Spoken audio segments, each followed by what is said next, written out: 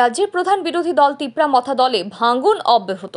বিগত বিধানসভা নির্বাচন ও তার বেশ কিছুদিন আগে থেকেই রাজ্যের এক ভালো সংখ্যক জনজাতিদের বিভ্রান্ত করেছিল তিপ্রা মথা দল মিথ্যা প্রতিশ্রুতি দিয়ে প্রলোভনে ফাঁদে ফেলে রাজ্যব্যাপী অসহনীয় পরিস্থিতি তৈরি করে তিপ্রা মথা।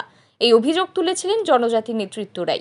দু হাজার চব্বিশ সালের আসন্ন লোকসভা নির্বাচনকে সামনে রেখে কল্যাণপুর প্রমোদনগর বিধানসভা কেন্দ্রের পাহাড় থেকে সমতল সর্বত্রই ক্রমান্বয়ে শক্তি বৃদ্ধি করে চলেছে শাসক বিজেপি দল। শাসক বিজেপি দলের সাংগঠনিক কর্মসূচি নামে একদিকে চলছে প্রায় প্রতিনিয়ত শক্তি বৃদ্ধি আর অন্যদিকে বিরোধী রাজনৈতিক দলগুলোর সংগঠন এক প্রকার দুমড়ে মুচড়ে যাচ্ছে। রাজ্যের প্রধান বিরোধী দল তিপ্রামথা দলের অন্যতম শক্ত ঘাঁটি হিসেবে পরিচিত কল্যাণপুর প্রমোদনগর বিধানসভা কেন্দ্রের উত্তর মহারানীপুরের তিপ্রা মথা শিবিরে এক প্রকার ধস নামল বৃহস্পতিবার। দলীয় এক যোগদান সভার মধ্য দিয়ে তিপ্রামথা দলের মোট একুশ জন ভোটার এদিন সামিল হন ভারতীয় জনতা পার্টিতে।